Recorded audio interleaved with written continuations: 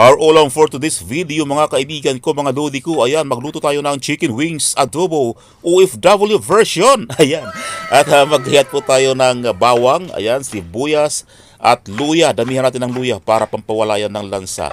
Ayan, at pagsamasamahan natin sa isang bowl, timplahan po natin ng ating uh, tuyo, suka, ayan, durog na paminta at kung ano-ano pang mga powder dyan na available sa aking kusina. Ayan, at uh, lagyan natin ng isang uh, chicken cubes at uh, kunting asukal para pamparo yan, uh, tamis-tamis ng konti.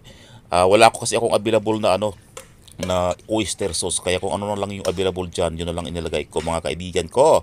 At ayan, naglagay din ako dyan ng pampaanghang na sili at star anise para may kunting kakaibang amoy. Ayan.